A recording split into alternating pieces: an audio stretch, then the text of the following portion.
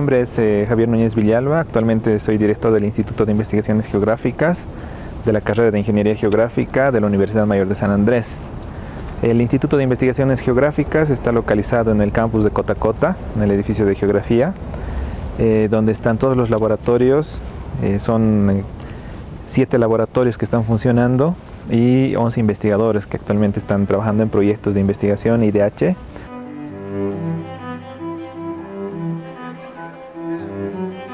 primero que quiero señalar es que la carrera de Ingeniería Geográfica cuenta con diversos laboratorios y gabinetes. Actualmente están trabajando 11 investigadores, cada uno con su proyecto financiado IDH.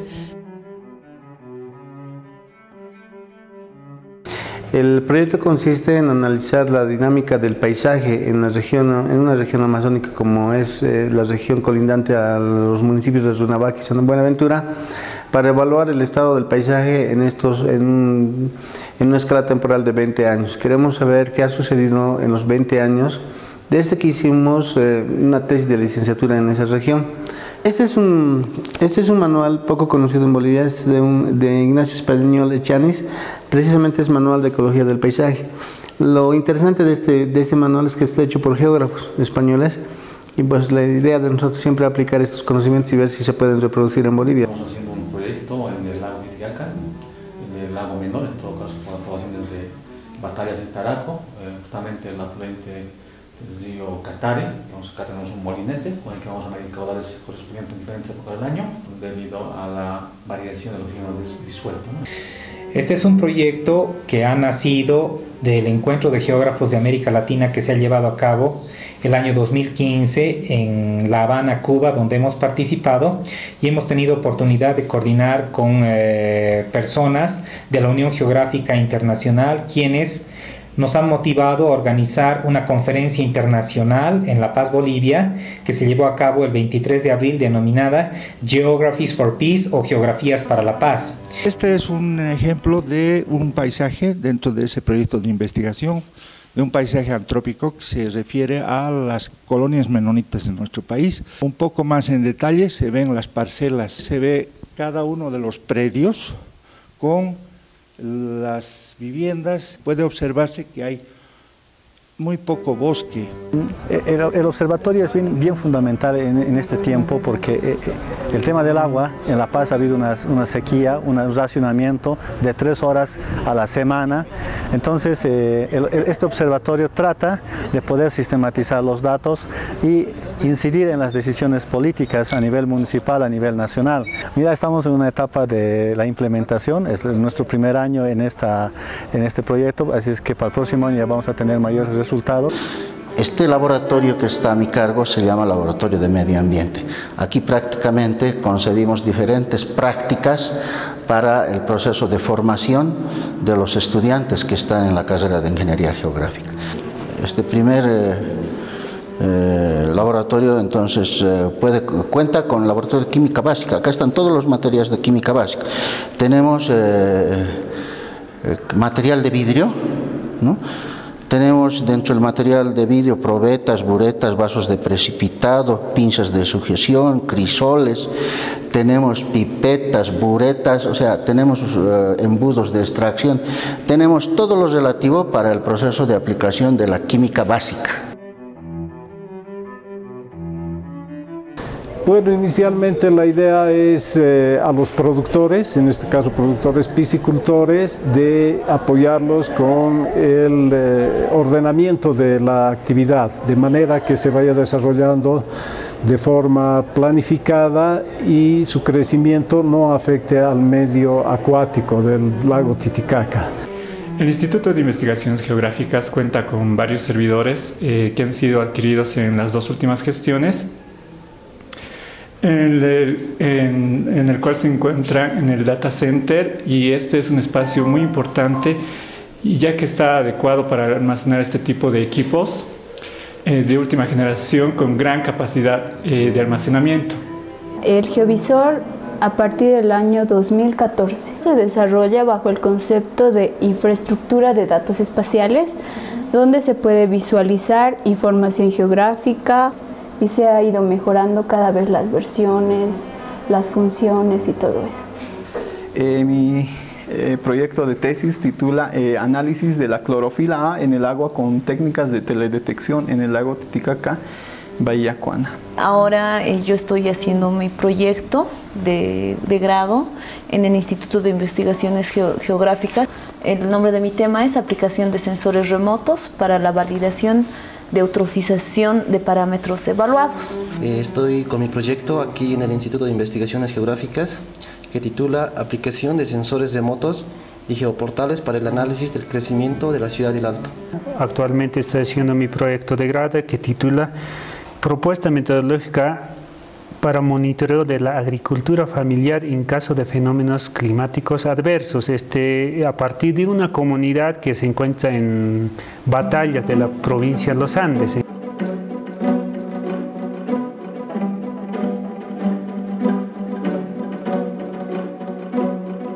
Bueno, el instituto se ha fundado el año 1990, es relativamente nuevo y básicamente ha sido con, el, con apoyo del, Instituto Francés de Investigaciones, el IRD, esa vez se llamaba Orstom, y también con la arquitecta Berta González, eh, eh, que es una de las primeras investigadoras del instituto y las primeras, una de las primeras directoras también.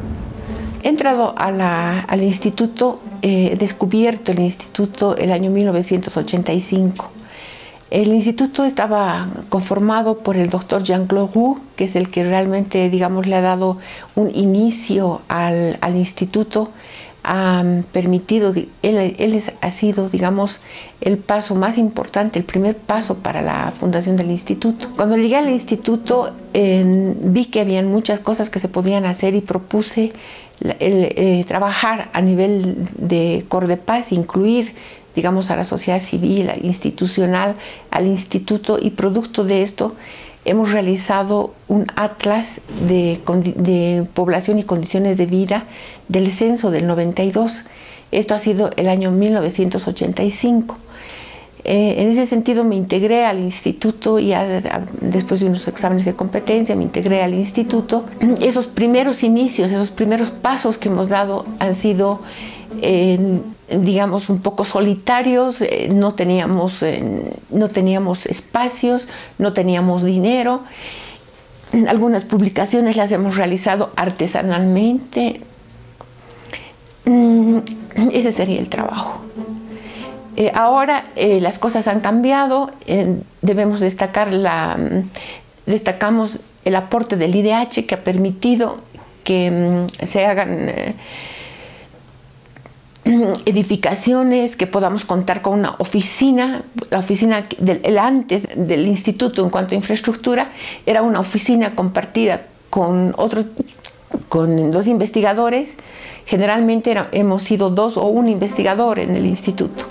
Em, el Instituto de Investigaciones Geográficas, de hecho, ha tenido muchos avances desde la, desde la asunción al, desde que se fundó prácticamente. El Instituto de Investigaciones Geográficas se fundó en, un ambiente en el edificio hoy de la avenida 6 de agosto. Y desde esa época hasta hoy que ya podemos contar con un edificio propio, ha habido avances interesantes en términos de equipamiento inmobiliario y también de muebles, ¿no? de, oficinas, libros. Hoy ya podemos decir que hemos hecho bastantes publicaciones a nivel del instituto, estamos en la etapa de la difusión y también de la promulgación de nuevos documentos. ¿no? Eh, trabajo acá desde la gestión 2015. Son tres años que vengo realizando mis labores en el IGEO. A partir de esa fecha he visto crecer a pasos agigantados al instituto porque se ha logrado una infraestructura bastante grande. Eh, todos estamos mucho más cómodos. Los investigadores eh, tienen sus uh, cubículos, las oficinas donde desarrollan los, los, proyectos de investigación. Lo último que les puedo decir es que me siento muy contenta de realizar mis actividades aquí en el instituto. Llevo trabajando siete años en la facultad. La experiencia de, de estos siete años trabajando en la facultad y más, más que todo en el instituto es que es el resultado del trabajo de los investigadores y la parte administrativa, toda la evolución que ha habido de este tiempo, porque antes trabajábamos al frente, teníamos solo una oficina, ahora las instalaciones son más grandes, los laboratorios son mejores y el crecimiento es constante. Entonces yo me siento feliz de ser parte de algo tan grande como es el instituto y es una es un privilegio. Tenemos, tenemos varias publicaciones, hemos estado trabajando ya desde el 2012, más o menos 2013, en el instituto, por ejemplo, es un libro del análisis climático en el altiplano del norte de La Paz, principalmente en la parte del, de las proximidades del lago Titicaca, y el otro, por ejemplo, es una publicación de las pequeñas separatas referida al lago Popo, al retroceso de los glaciares. Eh, son unas de las, de las tres que podemos resaltar de las publicaciones. La carrera de geografía siempre tuvo oh, muy pocos ambientes. Eso oh, implicó, digamos, eh, una cierta incomodidad para los investigadores como para los docentes. Los ambientes son muy importantes para eh, el desarrollo de las actividades. El Instituto de Investigaciones Geográficas viene haciendo investigación desde hace muchos años atrás. El Instituto de Investigaciones no contaba con estos equipamientos como los servidores o el data center y en las últimas gestiones eh, ya lo ha hecho. Es muy importante este servicio que presta ya que en aquí se almacenan todos los proyectos y es en base a estos que se los publica y bueno, la población y los profesionales pueden contar con estos servicios. Gracias a los proyectos IDH que han permitido que el instituto se pueda equipar y además de poder contratar profesionales que puedan desarrollar este tipo de programas. Bueno, el IGEO es relativamente nuevo, entonces estamos haciendo actualmente los, los proyectos que se están llevando a cabo y está siempre orientado justamente para ayudar a la sociedad y pues en bien del país. ¿no? Los proyectos están establecidos para, más que todo, ayudar a las comunidades, áreas rurales o hasta propio La Paz también que hemos hecho la parte de lo que es Callapa, eh, el deslizamiento. Entonces, los proyectos están orientados justamente a ayudar a la sociedad y pues para que eh, haya un plan de contingencia. ¿no? Este servicio técnico a la facultad y a todas las unidades de la misma, así como en el liceo, en mantenimiento de computación, en sistemas, en la página web, lo que se refiere a la parte técnica. Y con el ingeniero Javier Núñez he visto el crecimiento de alguna cosa pequeñita a una cosa bien grande. Realmente ha hecho muchos proyectos y ha hecho mucho por, la, por el instituto. El director del Instituto de Investigaciones Geográficas, el ingeniero Javier Núñez, viene realizando su trabajo de manera excelente, va cumpliendo con los objetivos que requiere la carrera y de ahí que hace de que exista una perfecta coordinación entre lo que es la carrera y el instituto. En síntesis podemos decir que él cumple de manera satisfactoria su trabajo. Yo trabajo aquí en colaboración con la Universidad Mayor de Santo Andrés.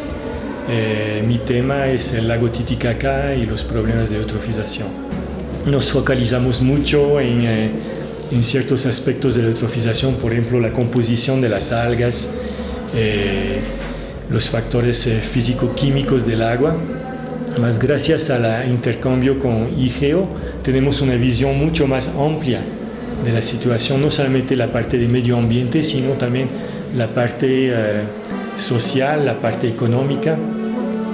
Y con IGEO hemos podido desarrollar el geovisor, eh, que es una herramienta eh, SIG que permite eh, combinar datos georreferenciados de varias naturalezas, como datos del medio ambiente. En especial quisiera agradecer al ingeniero Javier Núñez, director del Instituto de Geografía, porque la colaboración fue realmente muy fructífera Veo que ahora ha desarrollado una herramienta que es el, geovisor, eh, que es mucho más eh, sofisticado y que nos va a permitir realmente analizar eh, y presentar nuestros datos. Entonces vamos a poder convencer mejor a los tomadores de decisión con, con, con, eso. Y el Javier Núñez ha impulsado mucho todas esas actividades y ahora hay un grupo grande de estudiantes que está trabajando, es muy dinámico. El año 1999 se consolida con resolución del Consejo Universitario Y a partir del año 2010 empezamos a tener proyectos ya con recursos IDH y con recursos propios para poder trabajar en proyectos ya también más autónomos.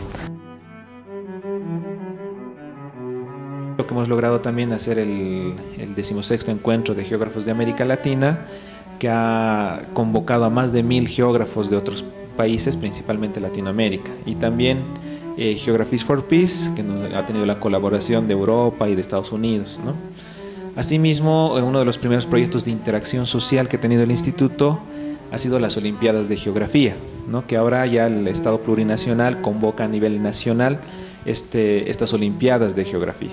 Tenemos convenios también con la Universidad Técnica de Oruro, con la Universidad Católica de La Paz, eh, tenemos convenios con el IRD de Francia, con el Gobierno Autónomo Municipal, y con la vicepresidencia. ¿no? También tenemos con la Unión Geográfica Internacional. Estos son convenios directos que tiene el Instituto de Geografía que, por ejemplo, se pueden, pueden hacer cursos e intercambio de docentes. Hace costumbre de que cada proyecto, cada investigación tenga mínimamente un libro de publicación.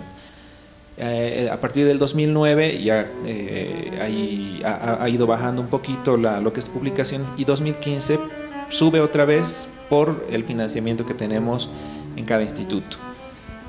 Y por otro lado estamos implementando servidores que, ahorita tienen convenio con la vicepresidencia y con GeoBolivia para poder ser un nodo de infraestructura de datos espaciales que sirva como todos los proyectos que se hagan a nivel universidad, a nivel UMSA, que tengan georreferenciación, que tengan datos geográficos, se almacenen en este servidor y como el instituto es nodo de GeoBolivia, se, puedan, se pueda distribuir esta información, todo, lo que tenga que ver con proyectos georreferenciados. Eh, bueno, yo quisiera agradecer que desde el 2015 al 2017 me ha tocado dirigir esta prestigiosa institución y la verdad he recibido bastante colaboración. Eh, nosotros hemos recibido el instituto sin ningún eh, apoyo, vamos a decir, administrativo, en el sentido de que solo era el director y no teníamos infraestructura y gracias a la colaboración desde la dirección de la carrera, el director, el decano, las autoridades nos han apoyado para poder implementarnos y conseguir estos espacios. Hemos podido conseguir espacios, hemos podido conseguir carga horaria, hemos podido conseguir eh, plantel administrativo. Ahora contamos con una secretaria, con un mensajero y posiblemente más adelante con un, con un chofer. Entonces, en estos pocos años ha sido relativamente fácil en el sentido que he recibido mucho apoyo para poder crecer como instituto. Por otra parte, quisiera agradecer a nuestro plantel administrativo, doña Zaida Torres, Miroslava Orellana, a Estela del Centro de Documentación, a mismo a Delio, mensajero que nos apoyaba siempre de la carrera, a don Miguel, a nuestro director de la carrera, el ingeniero Raúl Ayala, a nuestros docentes investigadores, el ingeniero José Flores, el ingeniero Edwin Machaca, sido nuestros primeros investigadores con recursos IDH dentro de mi gestión, y principalmente a nuestra fundadora del instituto, la arquitecta Berta González, al ingeniero Erwin Galopo, al licenciado Raúl Salas, que estamos implementando un proyecto IDH, al, a nuestros nuevos investigadores, el ingeniero Santos Calle, al ingeniero Nelson Aván, al ingeniero también que ahora está de vicedecano Francisco Callejas y al doctor Yuri Sandoval. Eh, espero no haberme olvidado de nadie y nuestros estudiantes también que están, han hecho sus tesis. Saben que estoy agradecido con ustedes, con los docentes, con los estudiantes y con los administrativos. Gracias. He estado muy honrado de poder haber eh, seguido esta gestión.